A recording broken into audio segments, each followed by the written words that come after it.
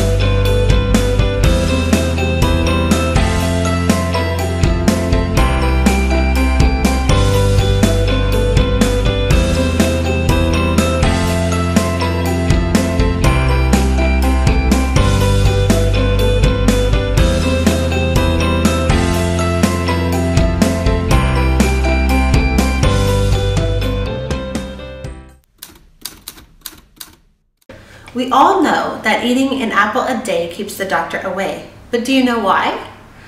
Apples detoxify your liver and help maintain a healthy weight. They also protect against Alzheimer's and Parkinson's disease.